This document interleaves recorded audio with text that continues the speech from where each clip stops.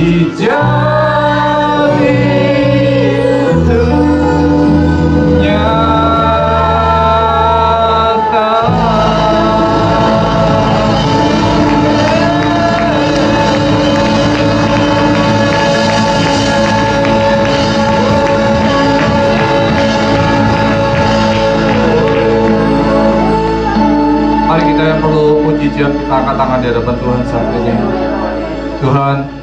mujizatmu nyata sampai hari ini ya Tuhan. Kamu perlu, kami perlu mujizatmu Tuhan. Karena Tuhan, setiap perkara yang kelihatan mustahil di hadapan kami, tidak mustahil di hadapanmu Tuhan. Karena itu kami berdoa di dalam nama Tuhan Yesus Kristus. Mujizatmu akan kau nyatakan pada setiap pribadi di tempat ini Tuhan. Kami siap menerima mujizatmu, kami siap menerima pernyataanmu yang baru ya Tuhan. Karena mujizatmu itu luar biasa ya Bapa. Tuhan, biarlah mujizatmu dimulai dari kehidupan kami pribadi ya Tuhan. Engkau yang dapat mengubahkan kehidupan manusia ya Bapa. Kami percaya Tuhan melalui mujizatmu. Kami juga akan diubahkan dari hari ke hari ya Tuhan Yesus. Tuhan yang lemah akan kau kuatkan ya Tuhan. Yang menderita akan kau pulihkan. Yang kekurangan akan kau cukupkan ya Tuhan Yesus. Kami percaya mujizatmu ada untuk setiap orang ya Bapa. Terima kasih Tuhan. Kami berdoa untuk keluarga kami, teman kami yang memerlukan mujizatmu juga Tuhan. Engkau jamah mereka pada pagi hari ini Tuhan. Ya ada perubahan demi perubahan ya Tuhan. Ada mujizat demi mujizat yang terjadi di sekitar kehidupan kami. Sehingga kami percaya Engkau Allah yang dahsyat dan heran ya Tuhan. Terima kasih Bapak. Kami siap, kami siap melihat mujizatmu itu. Dan kami siap juga mendengarkan akan firman-Mu ya Bapak yang akan ditabur di tengah kehidupan kami. Firman-Mu adalah sumber mujizat ya Tuhan. Firman-Mu adalah sumber kekuatan bagi kami ya Bapak. Karena itu biarlah firman-Mu ditabur di tanah yang subur. Firman-Mu itu bekerja dengan luar biasa mengubah hati-hati yang keras, mengubahkan Tuhan pikiran-pikiran yang lama ya Bapak dengan pikiran-pikiran yang baru ya Tuhan Yesus. Terima kasih. Urapi setiap umatmu. Urapi Tuhan setiap tangan yang terangkat. Urapi Bapak setiap hati yang hadir di tempat ini. Urapi setiap pribadi ya Bapak siap mendengar firman-Mu. Sehingga kami menjadi manusia-manusia yang diberkati oleh-Mu Bapak. Di dalam nama Tuhan Yesus Kristus. Kami berdoa dan mengucap syukur. Haleluya. Kita beri kemuliaan yang meriah sekali lagi Tuhan. Haleluya. Amin. Silakan duduk. Tuhan memberkati kita semua.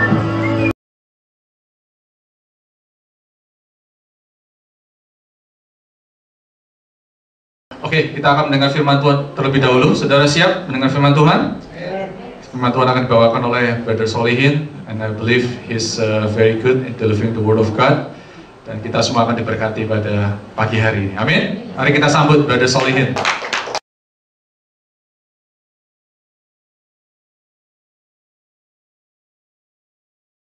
Um, sebelum kita mulai, saya ada satu joke. Uh, Pak Paulus suka kasih saya joke ya, dia suka print.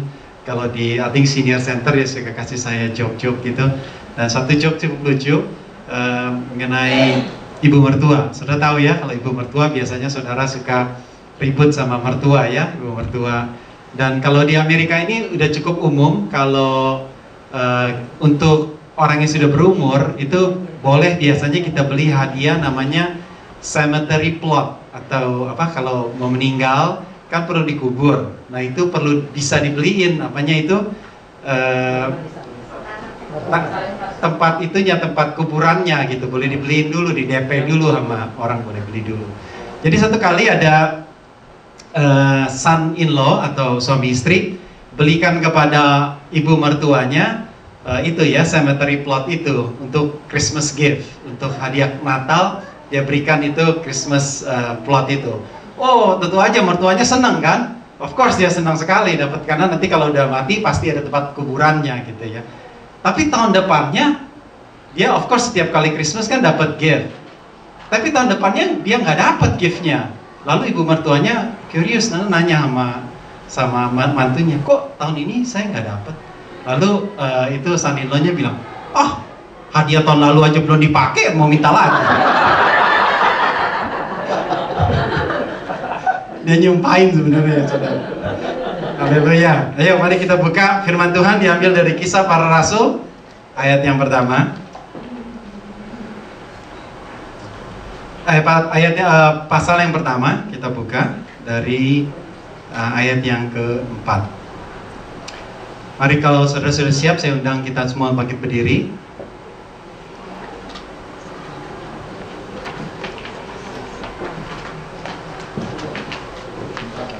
Kisah Rasul pasal yang pertama, ayat yang keempat. Mari kita sama-sama kalau sudah siap kita baca uh, ayat 4 dan 5 deh ya. Jadi biar bisa lebih jelas. Satu, dua, tiga. Pada suatu hari ketika ia makan bersama-sama dengan mereka, ia melarang mereka meninggalkan Yerusalem dan menyuruh mereka tinggal di situ menantikan janji Bapa yang demikian katanya. Tetaplah kamu dengar daripadaku. Sebab Yohanes membaptis dengan air, tetapi tidak lama lagi kamu akan dibaptis oleh Roh Kudus. Ayat ke-8 sama-sama. Tetapi kamu akan menerima kuasa kalau rohku turun atas kamu. Kamu akan menjadi saksiku di Yerusalem dan di seluruh Yudea dan Samaria dan sampai ke ujung bumi. Saya bacakan dari Yesaya pasal 40 ayat 31. Tetapi orang-orang yang menanti-nantikan Tuhan akan mendapat kekuatan baru. Mereka sumpama Raja Wali yang naik terbang dengan kekuatan sayapnya. Mereka berlari dan tidak menjadi lesu, mereka berjalan dan tidak menjadi lelah. Mari kita tunduk kepala sebentar, kita berdoa. Bapak terima kasih, kami bersyukur Tuhan pada pagi hari ini kami boleh mendengar kembali akan firman-Mu. Kami percaya Tuhan firman Allah telah ditabur, firman Allah sudah tertanam dalam hati kami dan sudah berbuah dalam kehidupan kami. Kami percaya Tuhan bahwa roh Tuhan akan bekerja secara heran pada pagi hari ini akan mengubah cara pikir kami Tuhan sehingga kami boleh mengerti rencana Allah dalam kehidupan kami dan kami boleh memiliki kekuatan yang baru di dalam menantikan Tuhan. Terima kasih Tuhan, kami mau sambut firman-Mu di dalam nama Tuhan Yesus Kristus. Haleluya. Amin. Saudara judul daripada uh, firman Tuhan hari ini adalah menanti-nantikan Tuhan or wait upon the Lord. Ya. Jadi dalam uh, tadi kita baca di dalam kitab uh, para rasul dikatakan bahwa setelah Yesus mati, setelah Yesus bangkit, kemudian Yesus berkata kepada para disciple-nya, pada para murid-muridnya, bahwa mereka harus menunggu. They have to wait bahasa Inggrisnya. They have to wait in Jerusalem. They have, mereka harus menunggu di Jerusalem. Pada waktu itu mereka sebenarnya uh, sudah excited, ya. Mereka sudah mau melakukan hal-hal yang mungkin mereka sudah mau mulai menginjil, mulai sudah mau karena mereka tadinya udah down, mereka udah feel down karena Jesus already died, tapi akhirnya Jesus bangkit. Mereka semangat sebenarnya untuk mulai, tetapi Tuhan bilang apa? Tuhan bilang you have to wait.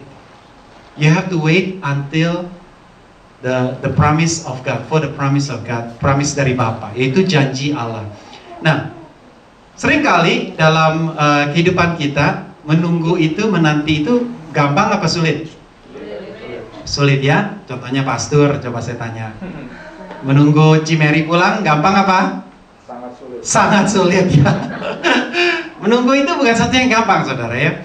Tapi kita mau belajar pada hari ini, kalau firman Tuhan berkata apa? Kalau kita menanti-nantikan Tuhan. Jadi menanti-nantikannya kepada Tuhan, kita akan mendapat kekuatan yang kekuatan yang baru. Nah, waktu saya membaca firman ini, waktu saya membaca kisah para rasul, saya ingat akan firman ini. Dan saya melihat kenapa kalau kita menanti-nantikan Tuhan itu kita mendapat kekuatan yang baru.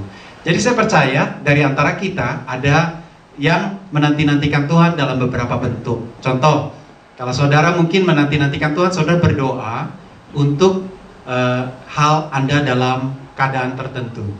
Ya, contoh, Anda berdoa buat suami saudara, Anda berdoa buat orang tua saudara untuk terima Tuhan misalnya. Saudara mungkin berdoa untuk situasi saudara yang sedang terjepit sekarang. Saudara menanti-nantikan jawaban Tuhan. Ya, jadi saudara berdoa untuk satu keadaan yang belum terjadi eh, keadaan yang saudara sedang alami sekarang ini. Itu pertama ya. Mungkin keadaan saudara hari ini ya, saudara sedang mencari jawaban Tuhan tentang keputusan yang saudara mau ambil. Contoh misalnya saudara mau bertanya mau pulang Indonesia apa nggak pulang Indonesia. Contoh saudara misalnya mau buka bisnis atau nggak buka bisnis. Atau misalnya seperti gereja kita mau beli gedung apa nggak beli gedung ya semua ini merupakan satu keputusan yang harus kita ambil dalam waktu dekat. dan biasanya kalau kita sudah berdoa kita menunggu menanti-nantikan tuh Tuhan. Nah inilah saya percaya ada dua keadaan ini yang apply kepada saudara semua, kepada kita semua.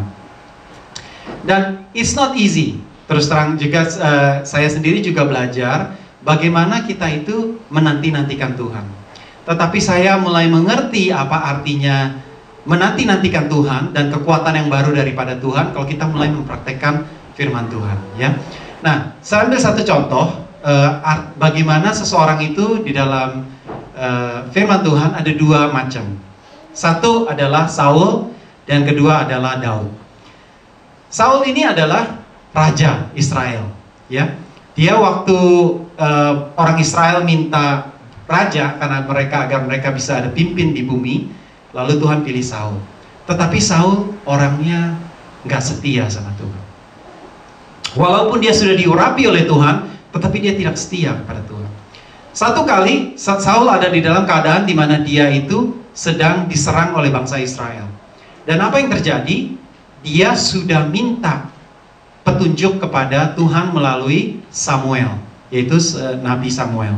Nabi biasanya zaman dahulu adalah orang di mana kita datang dan meminta petunjuk daripada Tuhan. Ya. Jadi dalam hal ini tapi kalau perjanjian baru tirainya sudah terbuka. Jadi saudara kalau minta nggak minta ke pastor dulu, lalu pastor minta kepada Tuhan, tidak lagi karena tirai sudah terbuka. Artinya saudara memiliki connection langsung. Jadi saudara berdoa boleh langsung kepada Bapa meminta, ya. Perjanjian baru seperti zaman kita udah nggak ada lewat orang lagi. Waktu Samuel dia waktu dia minta Samuel berbicara kepada Tuhan, lalu Samuel bilang apa? Tunggu tujuh hari. Tunggu, saya datang tujuh hari sebelum engkau datang menyerang uh, bangsa Filistin.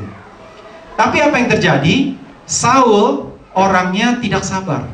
Dia itu sudah ber, sudah nanya Tuhan, tetapi keadaan sekitar dia membuat dia mengambil keputusan sebelum Tuhan bertindak. Dan ini membawa kehancuran. Yang terjadi adalah dia setelah menunggu hari ketujuh, hari ketujuh, padahal sudah hari ketujuh, Samuel tidak datang-datang. Seharusnya Samuel itu datang mempersembahkan korban, baru mereka maju berperang. Nanti Samuel akan berikan petunjuk, serang ke sini, serang ke sini, jangan serang atau bagaimana. Tapi dia nggak nggak nggak ini. Kenapa? Karena barang orang Filistinnya sudah berkumpul, dia sudah kirim tiga pasukan untuk mengintai, dan apa yang terjadi adalah orang-orangnya si Daud sudah mulai, eh, orang-orang Saul sudah mulai ketakutan, sudah mulai tercerai berai. Lalu Saul khawatir, Ya, sama seperti kita bukan? Seringkali kita dalam keadaan di mana kita sudah berdoa kepada Tuhan, bukan kita tidak berdoa, banyak dari pada kita sudah berdoa, tetapi kita tidak percaya, tidak percaya. Ini yang menyebabkan kita jadi kalah.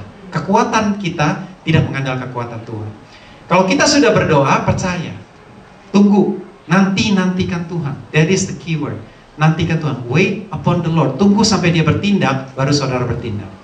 Nah, waktu dia tunggu tujuh hari itu tidak datang, dia nggak nggak sabar. Ya, saudara nanti boleh baca di 1 Samuel 13 apa yang terjadi dia akhirnya dia jadi Samuel. Dia kumpulin itu apa orang-orang lalu dia mulai si Saul ini mempersembahkan korban bakaran kepada Tuhan. Boleh apa tidak? Tidak boleh zaman perjanjian lama tidak boleh karena kembali tirai belum terbuka Waktu itu yang boleh mempersembahkan cuma imam, cuma orang Lewi. Cuma itu. Orang Kings dan Lewi itu dipisahkan, nggak bisa nggak bisa gabung. Tetapi si Samuel ini, eh bukan si Daud Saul ini udah nggak nggak nggak nggak pengen nunggu lagi, udah udah takut, udah khawatir keadaan sudah terjepit. Keadaan saudara sudah terjepit, saudara ambil langkah sendi sendiri. Akhirnya dia bakar, Baru dia bakar nggak ada sejam Samuel datang. Samuel sudah cium baunya, ada bau lemak segala. Lalu dia bilang What have you done? Saul, apa yang sudah engkau lakukan? Engkau berdosa terhadap Tuhan. Padahal kalau engkau tetap pada perintah-perintah Tuhan, kerajaanmu akan kokoh. Artinya dari keturunan Saul itu akan menjadi raja terus seumur hidup. Tetapi karena engkau tidak setia, kerajaanmu sudah diambil daripadamu dan Tuhan berikan kepada orang lain who is after God's own heart, yang mencari kehendak Tuhan yaitu da Daud. Nah, saudara perhatikan ya, setiap orang daripada kita diurapi Tuhan. Setiap orang daripada kita sudah dipanggil oleh Tuhan, tetapi kita semua dipersiapkan memiliki satu akses kepada Tuhan, tetapi sering kali kita mengandalkan kekuatan kita sendi sendiri dan kita tidak menuntut menunggu Tuhan. Dan saya tahu menunggu Tuhan itu is not easy, bukan satu hal yang gampang, betul? Tidak gampang karena kita tidak tahu kapan Tuhan menjawab. Nah, inilah kuncinya justru kekuatan daripada Tuhan itu adalah soal waktu. Nah, jadi waktu kalau Daud terbalikannya. Kalau saudara baca di kitab Mazmur, semua, hampir semua, dia selalu bilangnya apa? Aku menanti-nantikan Tuhan. Ya dikatakan bahwa tadi kan dikatakan bahwa Yesaya juga berkata orang orang yang menanti-nantikan Tuhan itu Yesaya 40 ayat 31 ya kalau saudara mau catat silakan catat Yesaya 40 31 orang-orang yang menanti-nantikan Tuhan mendapat kekuatan baru. Mereka seumpama raja wali yang naik terbang dengan kekuatan sayapnya. Mereka berlari tidak menjadi lesu dan berjalan tidak menjadi lemah. Nah sering kali kita ini sudah zamannya zaman instan. Ya semua sekarang instan. Kita semuanya mau cepet. Kalau istri saya lagi teks pastor misalnya teks teks teks teks teks. Ah padahal baru setengah menit. Nggak dijawab jawab dia. Ya setengah menit nggak terima balasan aja udah. Rasanya ah ini orang gimana sih telepon nggak dinyala nyalain gitu ya. Apalagi saya kalau dia teks saya di kantor saya balasnya ntar sore. Wah udah marah-marah dia kalau saya telepon. Telepon kagak diangkat-angkat kagak teks kagak dijawab-jawab. Maunya instan saudara semuanya ya. Kita kalau doa juga maunya in instan. Nah makanya kita itu di sekeliling kita ini semakin gampang hidup ini semuanya Google kalau mau ke mana-mana Google semuanya dapat cepet Nah, tapi dalam hidupan doa itu terbalik. Justru Tuhan mau kita belajar sah, belajar sabar. Nah, inilah satunya yang Tuhan mau kita tapi dalam kesabaran kita menemukan hikmat Allah. Yaitu dalam menanti Tuhan kita dibentuk oleh Tuhan. Mari kita buka satu lagi. Mazmur 5 ayat yang eh, Mazmur 5 ayat yang kedua ya, kita buka. Mazmur 5 eh, ayat yang kedua.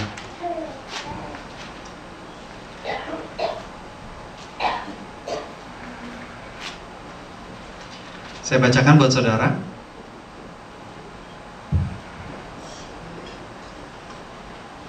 Mungkin yang ini uh, yang yang Indonesia yang keempat sebenarnya. Mazmur 5 ayat yang keempat. Tuhan pada waktu pagi engkau mendengar seruanku. Pada waktu pagi aku mengatur persembahan bagimu dan aku apa? Menunggu-nunggu, ya. Ini adalah kunci kekuatan saudara. Saya percaya bahwa kekuatan kita itu waktu kita menunggu Tuhan. Terbalik justru dari ke, manusia. Kalau pemikiran manusia maunya cepat instan, tetapi dalam kita menunggu itu justru kekuatan Tuhan ketimbul.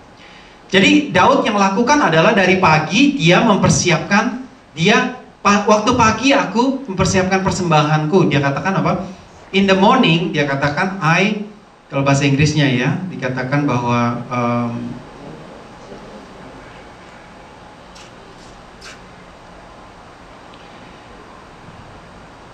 In the morning I will direct it to you and I will look up. Bahasa Inggrisnya I will look up. Saya menunggu nunggu.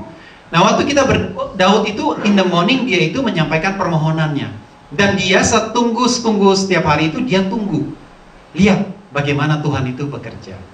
Nah, dalam menunggu ini, saudara akan timbul satu kekuatan yang baru. Karena saudara tidak menunggunya sia-sia. Saudara menunggunya kekuatan Allah itu kapan akan dicurahkan. Jadi excited saudara. Saya merasakan bahwa kalau kita menunggu Tuhan itu excited. Bagaimana kita itu melihat bahwa Allah itu bekerja. Jadi saudara mulai experience God. Nah, saya belajar bahwa dalam kita menunggu Tuhan itu saya lebih alert saya lebih lihat bagaimana Tuhan bekerja, bagaimana ya. Dan kita semangat, oh lihat bagaimana Tuhan mau lakukan hal yang ajaib ini. Ini satu hal yang tidak mungkin, tetapi saya percaya Allah akan lakukan hal yang ajaib. Justru itulah kekuatan yang baru. Nah, saudara tahu bahwa Yusuf juga menunggu. Saudara tahu berapa lama Yusuf Mulai dari mendapat mimpi sampai dia menjadi raja berapa tahun? 17 tahun. Eh, 13 tahun actually. Waktu dia menjadi waktu dia mendapat mimpi itu dia umur 17. Waktu dia benar menjadi raja itu umurnya 30. Jadi sekitar 13 tahun dia menunggu akan janji Allah. Hari ini daripada kita mungkin ada yang sedang menunggu janji Tuhan. Di mana Tuhan? Di mana jawaban Tuhan? Tetapi saudara, kalau saudara menunggu dengan sungguh-sungguh, waktunya Tuhan itu akan segera datang. Ya. Dan apa artinya saya mau bahas adalah ada empat arti what do you mean what do we mean by wait upon the Lord? Apa artinya menanti nantikan Tuhan? Ya, mari kita buka satu uh, ayat. Uh, nomor satu artinya adalah menantikan Tuhan artinya being alert atau berjaga-jaga. Mazmur 30 ayat yang ke-6. Mazmur 130, Mazmur 130 ayat yang ke-6. Kita bacakan. Dari ayat yang kelima deh saya bacakan. Mazmur 130 ayat 5 dan 6. Aku menanti-nantikan Tuhan. Jiwaku menanti-nanti dan aku mengharapkan firman-Nya. Jiwaku mengharapkan Tuhan lebih daripada pengawal mengharapkan pagi. Ya, lebih daripada pengawal mengharapkan pagi. Ya, Daud berbeda, saudara. Kalau saudara mau bertumbuh di dalam iman, saudara harus mulai bertumbuh di dalam pengharapan. Karena kalau kita tidak timbul pengharapan ini, tidak berserah kepada Tuhan, saudara tidak akan mengalami Tuhan. Kita perlu untuk belajar menjadi seperti uh, seperti Daud. Ya. Kenapa Daud mengambil contoh pengawal? Saudara tahu pengawal pengawal zaman dulu itu itu di bent di benteng jaganya ya.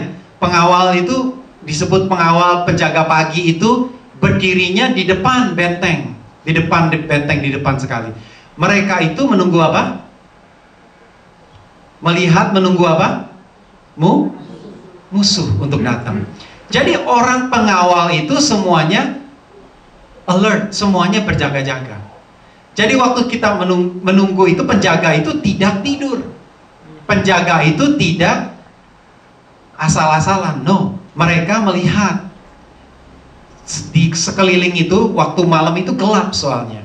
Tidak ada apa-apa. Mereka melihat ada orang nggak, ada pengintai nggak, ada yang datang nggak, ada yang menyerang nggak.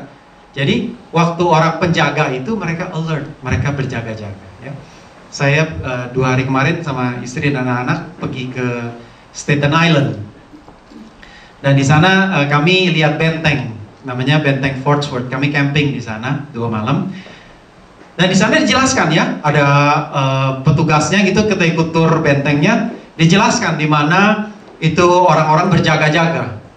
Kalau ada sampai diserang waktu itu zaman British datang ke New York, mereka itu semuanya penjaganya berjaga-jaga. Mereka semua ada kisi-kisi di mana ada pistol ya, ada pistol yang keluar uh, ada sedikit begitu untuk menjaga-jaga musuh datang.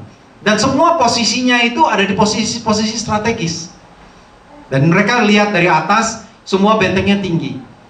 Penjaga itu seperti itu. Daud bilang bahwa kalau menantikan-nantikan Tuhan harus seperti penjaga. Lebih daripada penjaga.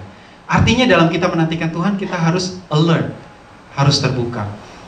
Kalau penjaga di benteng seperti itu, kalau penjaga di Indonesia lain lagi ya. Kalau siskamling gitu ya, saudara tahu kan, malam-malam gitu, malah kebanyakan tidurnya daripada jaganya ya. Udah gitu lagi pada jaga, bukannya jaga malah pada main domino lagi ya, bukan mana. Tapi kalau orang orang alert itu tidak seperti itu, saudara. Dia nggak bisa minum kopi sambil jaga, nggak bisa. Dia harus berjaga-jaga. Nah, dalam kita menanti-nantikan Tuhan, kita harus belajar untuk berjaga-jaga. Kita harus bisa membangun sensitivitas kita akan suara Tuhan. Ada saya sendiri juga terus terang sedang belajar bagaimana menjadi sensitif pada Tuhan. Dan saya belajarnya dari mulai dari firman Tuhan, yaitu Tuhan bilang selalu berdoalah di dalam roh.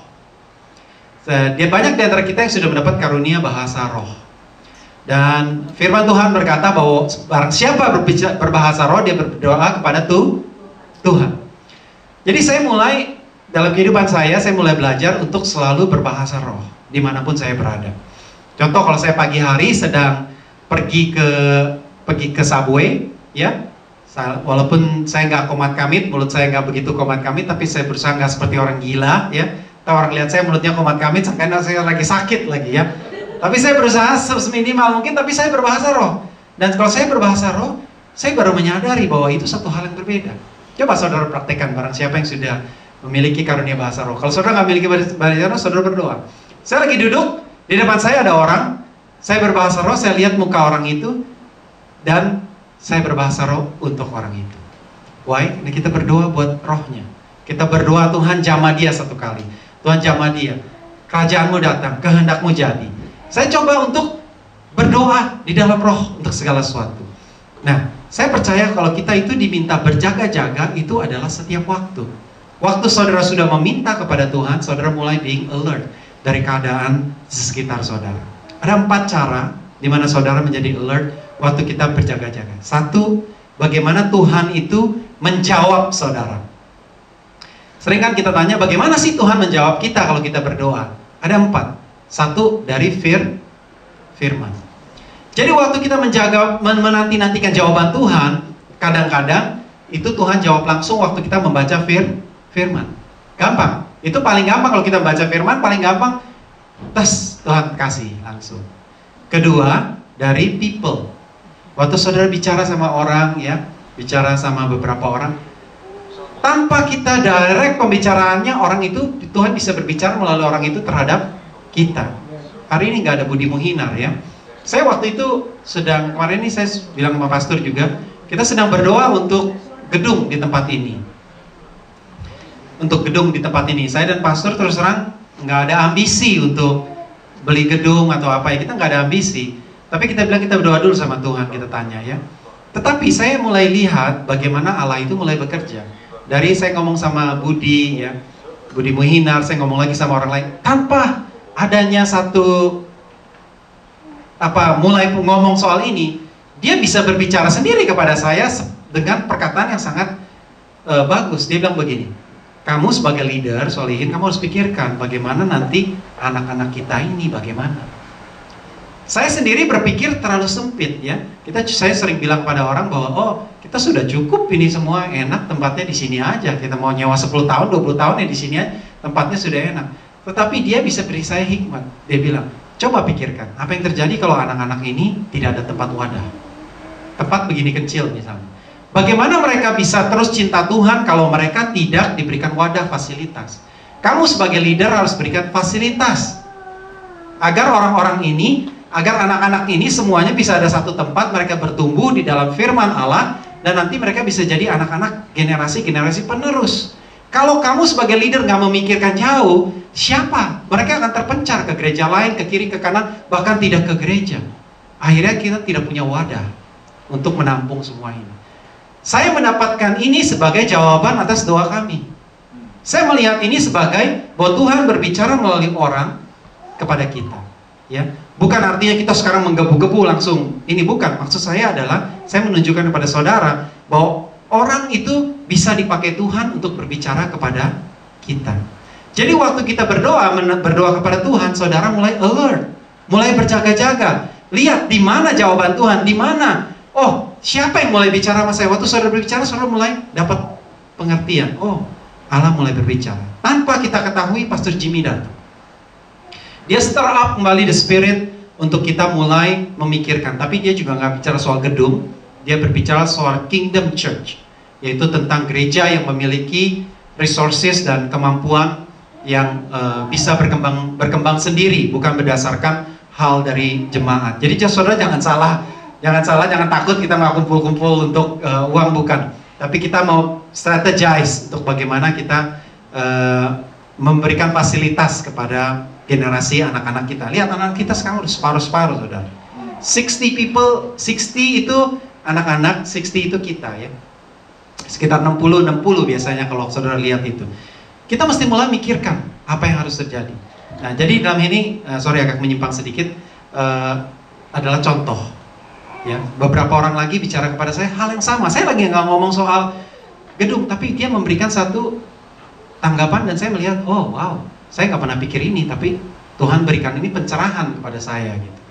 Nah, Saudara mulai alert dari people. One is from the word of God. Dari Tuhan, dari firman Allah. Kedua dari orang. Ketiga dari situasi, keadaan kita sendiri. Saudara perhatikan.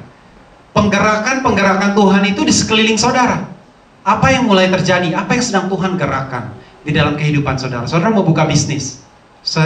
Mau buka bisnis, saudara minta kepada Tuhan membuka jalan. Kalau memang adalah kehendak Tuhan, Tuhan akan buka jalan. Saudara akan lihat kiri kanan saudara, keadaan saudara itu mulai membuka jalan buat saudara. Tiba-tiba ada jalan di sini, tiba-tiba ada jalan di sana. Saudara buntu. Tapi kalau orang menanti-nantikan Tuhan, Tuhan buka jalan. Tanpa saudara tahu bagaimana caranya, tek, Tuhan buka jalan. Ini adalah kunci di mana kekuatan Tuhan. Saudara jadi excited waktu mengikuti Tuhan itu. Saudara setiap hari melihat, kapan Tuhan, yang mana, yang mana? Where, where? Yang mana, yang mana? Saudara mulai melihat kiri dan kanan mulai menjadi excited. Kekuatan yang baru itu timbul setiap hari. Ya.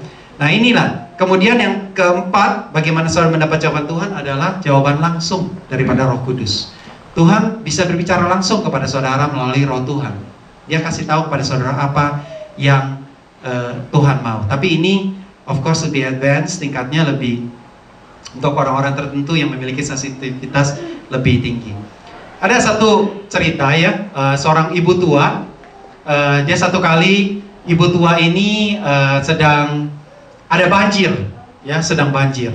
Lalu ibu tua ini didatengin pakai mobil. Ada banjir dari ini daerah flood, daerah yang bakal banjir berat gitu ya. Lalu datang mobil dari PMI datang. Lalu bilang pada ibu itu, ibu, mari saya bawa kamu ke higher ground, ke tempat yang lebih tinggi. Jadi biar sini bakalan banjir. Lalu ibu itu bilang apa? It's okay, my good Lord will save me, katanya. Dia bilang katanya, nggak usah, nanti Tuhan yang baik itu pasti menolong saya. Jadi dia nggak mau ditolong oleh PMI. Ya udah tunggu besokannya ya, hujan mulai lebat, jadi jadi sudah mulai sudah mulai naik, naik, naik, naik sampai lewat sampai masuk ke dalam rumahnya sampai separuh sampai uh, separuh kemudian datang sudah sampai perahu datang akhirnya. Lalu perahu datang karena udah mobil udah nggak bisa masuk lagi harus lewat perahu. Lalu perahu itu bilang, ibu, ayo, mari naik ke perahu dan kita bawa ke higher ground tempat yang lebih tinggi untuk di sana. Lalu ibu itu bilang, sorry, it's okay, my good Lord will save me. Katanya Tuhan akan menyelamatkan aku, nggak usah. Tuhan akan selamatkan saya. Jadi saya nggak mau naik boat, saya mau tunggu sampai Tuhan selamatkan saya. Lalu besokannya Hujan tambah besar, kelelap rumahnya di ujung sampai di ujung uh, apa itu uh, pucuk atapnya. Lalu datang helikopter, udah nggak bisa lagi kapal helikopter datang. Ibu, ayo naik ke nanti saya bawa ke tempat lebih tinggi. Dia bilang, nggak apa-apa, nanti Tuhan akan selamatkan saya, my good Lord. Akhirnya kelelap dia mati, saudara. Kelelap dia mati ketemu Tuhan, lalu dia bilang, How come? Tuhan, bagaimana? Engkau, aku sudah percaya sama kamu, tapi Tuhan tidak selamatkan saya dari banjir ini. Lalu Tuhan bilang apa? Gue udah kirim lu mobil, gue udah kirim lu perahu, udah kirim lu helikopter, lu juga gak mau naik. Bagaimana gue tolong lu? Artinya apa? Kadang-kadang kita itu tidak perhatikan keadaan, saudara. Tuhan kadang-kadang sudah jawab, sudah kasih jalan kepada kita. Tapi kitanya tidak alert. Kita tidak tahu bahwa ini adalah jawabannya Tuhan. Kenapa? Karena kita tidak menanti nantikan Tuhan. Saudara terlalu banyak pikirin caranya jalan sendiri. Saudara punya pandangan bagaimana solusi itu sebenarnya seperti ini Tuhan yang saya mau. Tapi jalan Tuhan itu lain-lain. Ya. Jadi jangan kita itu terpaku kepada imajinasi kita. Orang Israel sama. Mereka maunya apa? Mesias itu membebaskan bangsa Israel jadi bangsa yang tidak dikuasai oleh Roma, tidak apa. Waktu Tuhan Yesus datang dia tolak. Kenapa? Karena nggak sesuai dengan pikiran yang dia mau. Yang dia mau adalah Tuhan Yesus jadi raja membebaskan bangsa Israel dari secara duniawi tidak dikolonialis, tidak dijajah oleh bangsa lain lagi. Itu yang mereka mau. Tetapi mereka menanti-nantikan Tuhannya dengan salah. Waktu Tuhan Yesus datang, Yesus datang secara spiritual, membebaskan umat manusia.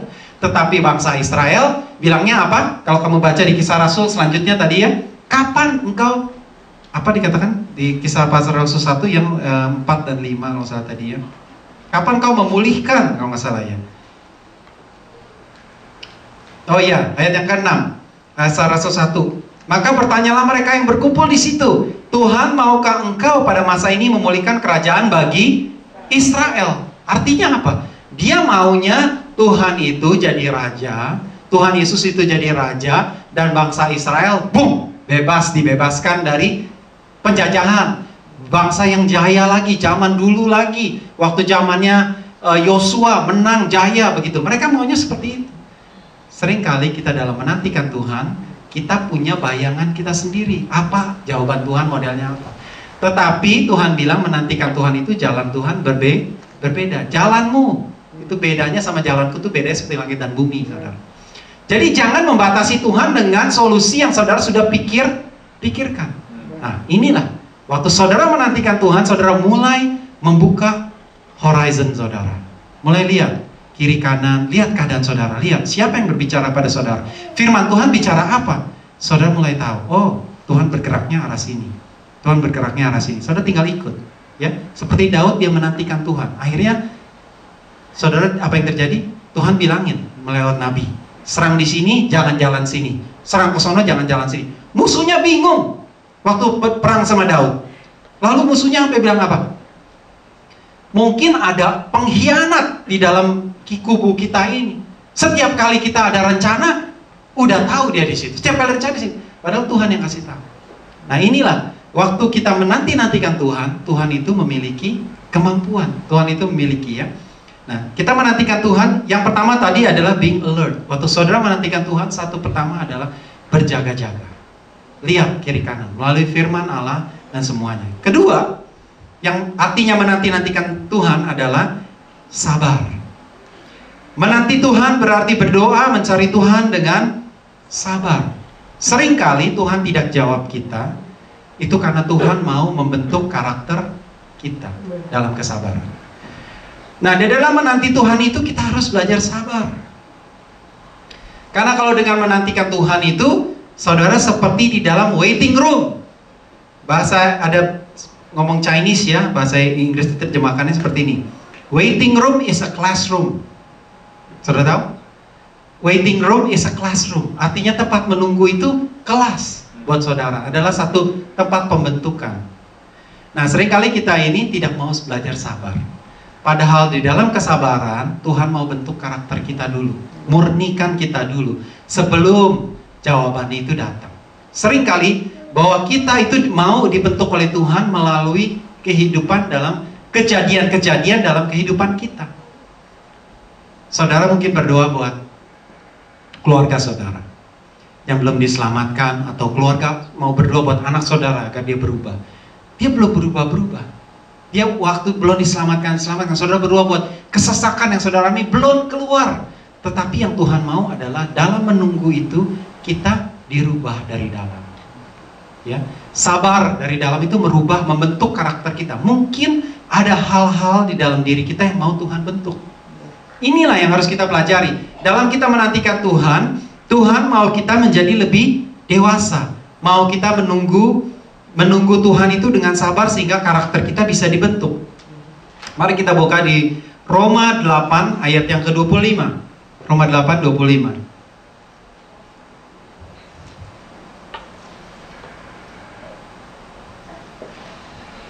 Kita sama-sama baca ya. Kita uh, sama-sama satu Roma 8 25 1 2 3. Jika kita mengharapkan apa yang tidak kita lihat, kita menantikannya dengan tekun. Kalau pengharapan yang sudah kelihatan itu bukan pengharapan lagi katanya.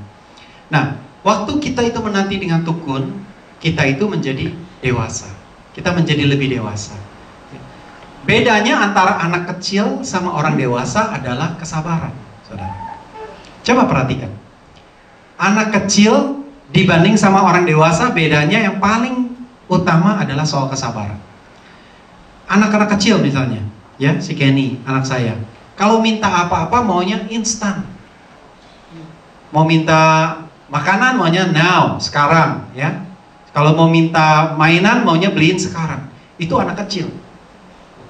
Kalau orang dewasa seperti kita-kita ini mau masih misalnya mau beli furniture langsung ke internet langsung beli, saudara masih kekanak-kanakan namanya. Nggak mikir dulu, nggak mikir panjang ya. Kalau orang dewasa itu bisa tunggu, bisa sabar, bisa lihat ya. Itu tanda orang mature. Tanda orang yang sudah dewasa. Dia bisa melihat, oh perlu apa nggak perlu. Ada uang apa nggak ada uang? Sekarang apa tahun depan belinya? Dia bisa mikir, bisa lihat. Ini tanda orang sa orang sabar dan sudah dewa dewasa. Sama. Kalau saudara mau minta Tuhan dan maunya instan, artinya saudara itu masih kanak-kanak. Kalau orang dewasa itu meminta Tuhan, dia sabar menanti Tuhan. Nah, kita harus mulai belajar untuk menjadi sabar ya.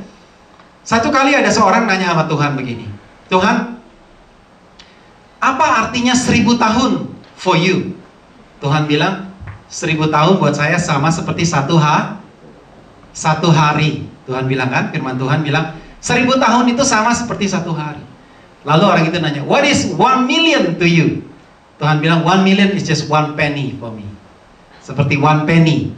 One penny itu sama seperti one million US dollar ya. Kalau one one day itu sama dengan seribu tahun.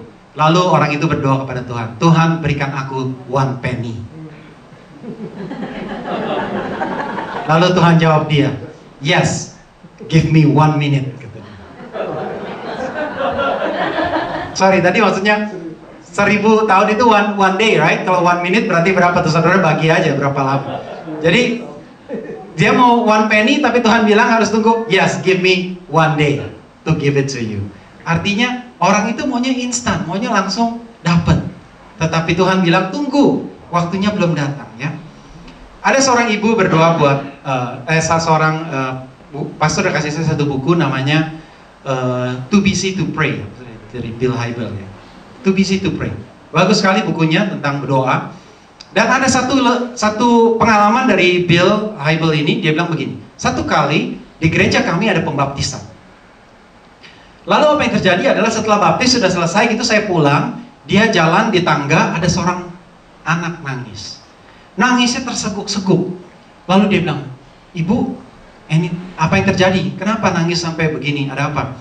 Oh, dia bilang, "Gak apa-apa, pastor saya uh, menangis karena ibu saya baru dibaptis hari ini.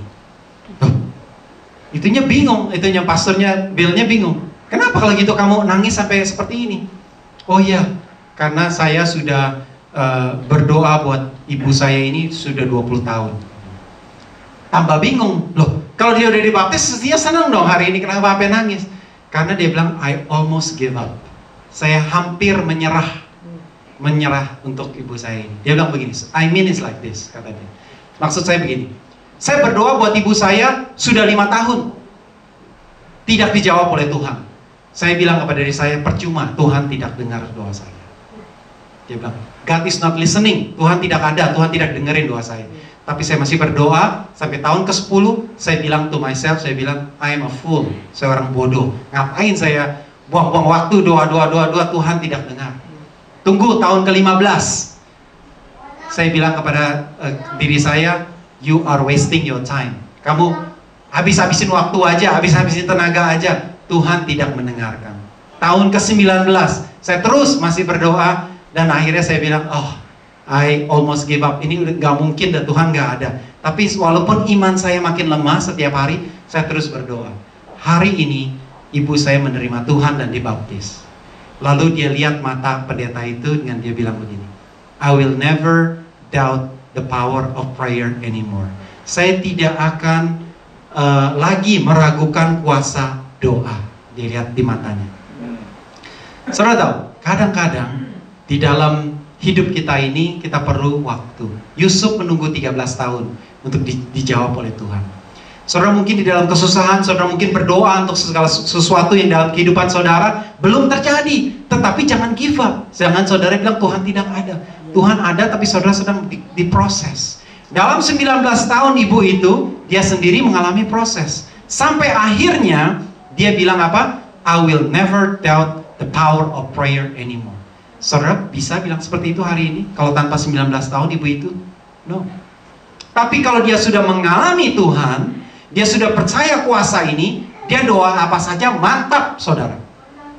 Jadi kita itu dibentuk oleh Tuhan untuk kita itu mengalami Tuhan. Waktu kita berdoa sampai Tuhan jawab, benar-benar Tuhan jawab, waktu itu Tuhan sudah membentuk kita. Nah, waktu itulah kita mesti belajar untuk menunggu akan Tuhan. Tadi kedua ya, sabar. Yang pertama adalah saudara uh, being alert. Berjaga-jaga ya, lihat jawaban Tuhan. Kedua, sambil berjaga-jaga itu saudara sabar. Yang ketiga, saudara harus bersandar akan kekuasaan Tuhan. Mari kita buka Roma pasal yang ke-8.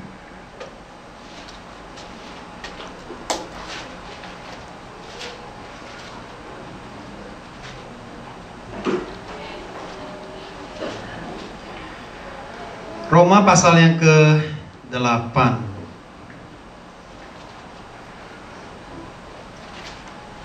8 apa 4 ya sebentar ya. Roma pasal 4 ya. Roma pasal yang keempat ayat yang ke um, 17 bagian B ya. Tapi kita baca aja semuanya. Roma 8 ayat yang ke-17. Roma 4 ayat yang ke-17, sorry. Roma 4 yang ke-17. Seperti ada tertulis, engkau telah kutetapkan menjadi bapa banyak bangsa di hadapan Allah yang kepadanya ia percaya yaitu Allah yang menghidupkan orang mati dan yang menjadikan dengan firman-Nya apa yang tidak ada menjadi menjadi ada. Jadi Tuhan itu dengan firman-Nya menjadikan apa yang tidak ada menjadi ada. Bukan lagi satu Korintus ya, ini sama firman-Nya tapi dalam versi yang lain. Satu Korintus ayat 7 1 Korintus eh, sorry, 1 Korintus 8. 1 Korintus 8 ayat yang ke-6. 1 Korintus 8 ayat yang ke-6. Namun bagi kita hanya ada satu Allah yaitu Bapa yang daripadanya berasal apa? Segala sesuatu yang untuk Dia kita hidup dan satu Tuhan saja yaitu Yesus Kristus yang olehnya apa? Segala sesuatu telah dijadikan. Nah, saudara, firman Allah ini begitu bagus ya. Tuhan itu dapat menjadikan dari yang tidak ada menjadi ada. Percaya saudara. Yang Roma ini, tadi Roma 4 itu bicara soal iman Abraham. Dia beriman, berdoa, percaya, tetapi belum terjadi. Nah, lagi dia berdoa ini, dia menunggu Tuhan. Tapi dia tetap percaya, karena dia percaya Allah sanggup membuat dari yang tidak ada menjadi ada. Satu Korintus berkata apa? Segala sesuatu sumbernya siapa? Tuh Tuhan. Sumber daripada segala sesuatu adalah Allah Bapa. Dan dari Yesus Kristus segala sesuatu dija, dijadikan yaitu oleh firman Tuhan. Jadi kita harus percaya, memang satu halnya mustahil dalam kehidupan saudara menjawab kehidupan saudara. Doa saudara itu sepertinya mustahil. Tetapi Allah sanggup membuat dari yang tidak ada menjadi ada. Jadi jangan saudara melihat dari pandangan mata. Apa yang sepertinya tidak mungkin itu dibuat menjadi mungkin karena tuh Tuhan. Ketiga, hal ketiga, saudara dalam menanti Tuhan adalah buka pikiran saudara. Jangan melihat dari hal yang umum saja, hal yang mungkin saja. Pikirkan hal-hal yang tidak mungkin. Jadi bersandar kepada kekuasaan tuh Tuhan. Waktu kita menanti akan Tuhan, tadi saya sudah bilang, jangan seperti nenek itu yang menunggunya sampai ada malaikat ngangkat dia baru selamat. Jangan. Itu namanya saudara membatasi Tuhan. Waktu saudara itu berdoa kepada Tuhan, buka pikiran saudara hal-hal yang mustahil. Tunggu, tunggu, tunggu Tuhan punya jawaban mustahil. Being alert every day. Satu hal yang mustahil yang Tuhan lakukan. Dengan demikian, Yesaya 14, 40, 13 itu datang. Yaitu kekuatan yang baru itu diberikan kepada Tuhan. Kekuatan yang baru itu adalah the power of the Holy Ghost. Tadi di, dikatakan di uh, kisah Rasul pasal 1, yaitu apa? Tunggulah sampai engkau menerima kuah, kuasa. Saya percaya bahwa saudara waktu menanti itu tunggu sampai kuasa Tuhan dinya, dinyatakan. Nah, saat itulah saudara akan melihat bagaimana Allah itu berkuasa. Jadi waktu menunggu itu bukan waktunya pasif. Kata menanti menunggu bukan kata yang pasif. Bukan artinya saudara tidak ngapa-ngapain. No, it's a lot of things waktu kamu lagi menunggu. Baca firman Tuhan, being alert, ya. Kemudian saudara sabar menggali diri saudara, apa yang salah, apa yang kurang Tuhan mau bentuk diri saudara. Dan saudara mulai menunggukan iman saudara dari kekuasaan Tuhan. Saat itu saudara mulai dibentuk dan jawaban saudara itu sedang diproses. Nanti kalau saudara sudah siap, kontainernya sudah siap, Tuhan tinggal berikan. Waktunya Tuhan bukan waktunya kita. Waktu kita menanti-nantikan Tuhan, timbul kekuatan yang baru, yaitu waktu kita mulai diproses oleh Tuhan. The power of the Holy Ghost will be upon you, kata firman Tuhan. Kuasa daripada Roh Kudus akan menyertai engkau, yaitu there is power of God being poured out. This is where the new strength come to us.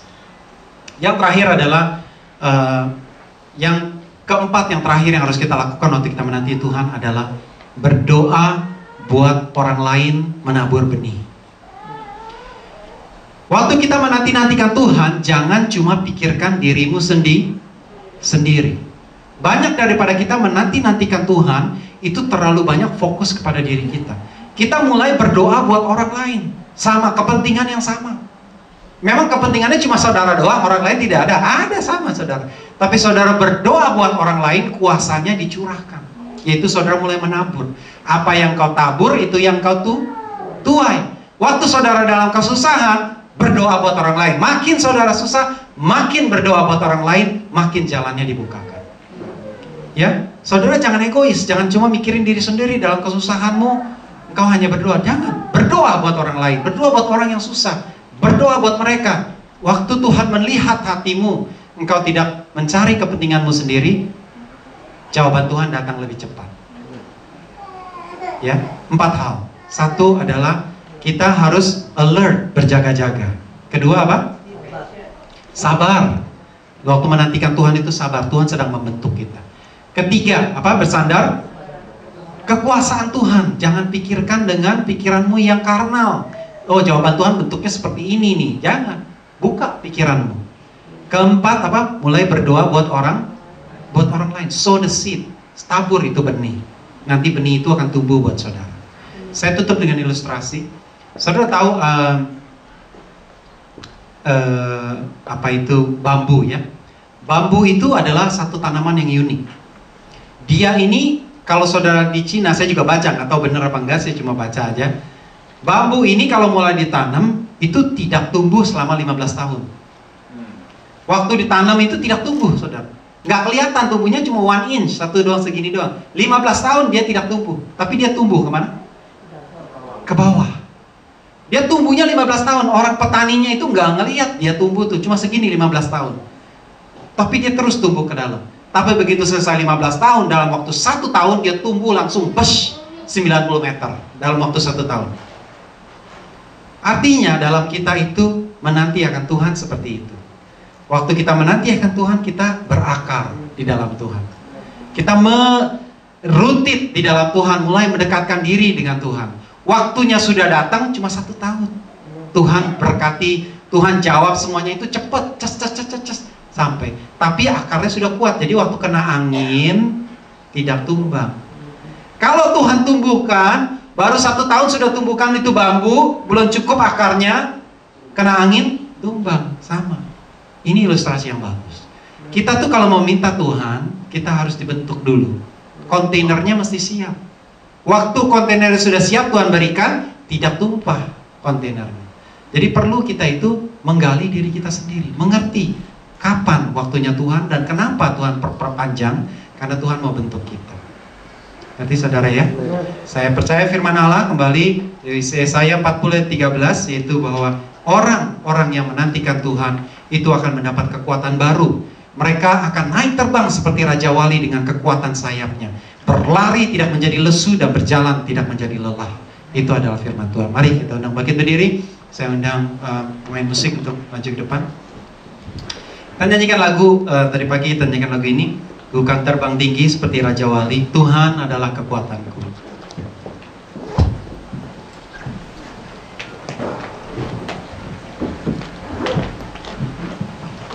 Haleluya.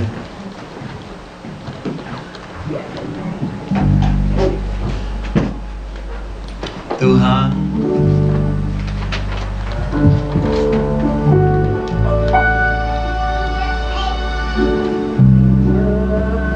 Adalah kekuatanku. Bersama dia. Bersama dia ku takkan goyah ku kan terbang tinggi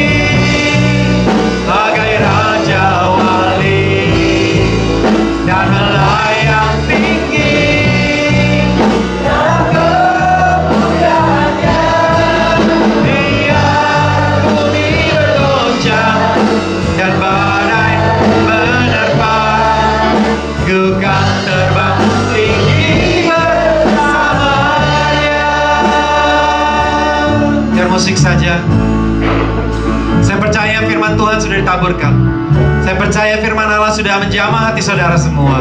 Saya percaya bahwa maksud Tuhan adalah indah dalam kehidupan saudara. Saudara mungkin mengalami pergumulan hari ini. Saudara mungkin mengalami kesusahan pada hari ini. Saudara mungkin sedang menanti-nantikan jawaban Tuhan. Tapi saya percaya firman Tuhan memberikan kekuatan kepada kita, memberikan kekuatan yang baru. Karena itu adalah rencana Tuhan dalam kehidupan kita. Saudaraku jangan give up. Saudaraku jangan jangan menyerah, saudara. Karena sedikit lagi Tuhan akan menolong saudara. Cuma waktunya Tuhan perlu Tuhan mau membentuk kita. Saudara sudah hampir di garis finish. Jangan give up. Jangan saudara menyerah akan Tuhan. Jangan saudara tidak percaya akan Dia. Tetapi Tuhan mau kita belajar lebih lagi setia kepada Tuhan. Lebih lagi mencari akan kehendaknya. Belajar lebih lagi lebih lagi cinta akan Tuhan dalam kehidupan kita. Hari ini Tuhan mau membentuk kita semua. Saya rindu buat berdoa buat saudara-saudara yang perlu didoakan pada hari ini. Saudara, tutup mata semuanya. Saya minta semuanya tidak ada yang lirik kiri kanan. Saudara kalau perlu didoakan dari jamahan Tuhan, saudara boleh angkat tangan. Saya rindu berdoa buat saudara agar kekuatan roh bukan hikmat manusia tetapi kekuatan roh yang akan menjamah saudara. Haleluya. Terima kasih untuk tangan yang terangkat Tuhan. Tuhan kau lihat tangan-tangan yang terangkat Tuhan Saat ini ya Bapak Kami mohon dengan kekuatan daripada roh kudus Menjamah mereka semua Tuhan. Lord saya berdoa Tuhan biar kuasa sign and wonder Lord Terjadi dalam kehidupan mereka semua Bapak Saya berdoa ya Tuhan kau menjawab Tuhan Rencana-rencanamu Tuhan Engkau menjawab Tuhan doa-doa mereka Tuhan saat ini Tuhan biar dicurahkan di tempat ini Tuhan. Tuhan kalau mereka yang masih harus menunggu waktumu Tuhan, beri mereka kekuatan yang baru. Tuhan waktunya Tuhan kalau Tuhan membentuk mereka, Tuhan berikan rema dalam kehidupan mereka sehingga mereka tahu apa yang harus mereka lakukan Tuhan. Bapak aku mohon kekuatan yang baru daripada Engkau berikan kepada mereka, yaitu kekuatan roh, yaitu the power of the Holy Ghost, kuasa daripada Roh Kudus. Tuhan curahkan dalam kehidupan mereka Tuhan. Tuhan biarlah mereka menanti-nanti dan mereka akan dilengkapi oleh kuasa roh yaitu menjadi kekuatan dalam kehidupan mereka. Tuhan biar mereka berlari dan tidak menjadi lesu, biar mereka berjalan dan tidak menjadi lelah Tuhan. Karena kekuatan yang baru daripadamu atas mereka. Tuhan kami seal Tuhan. Semua ini Tuhan di dalam nama Tuhan Yesus Kristus. Haleluya. Ku kan terbang tinggi bagai Raja Wali. Dan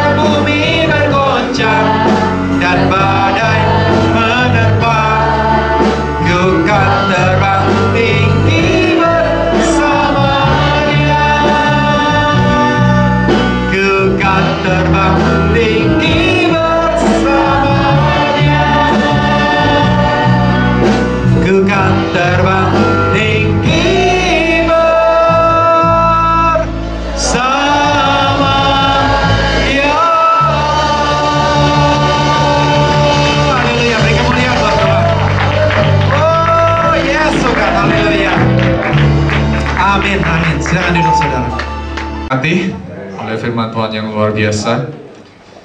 Eh, berikan tepuk tangan sekali lagi untuk Tuhan. Thank you, Dr. Solihin. Very good sermon. Saya diberkati sekali oleh firman Tuhan ini.